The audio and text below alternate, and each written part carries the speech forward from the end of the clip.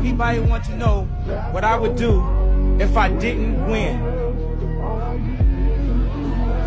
I guess we'll never know.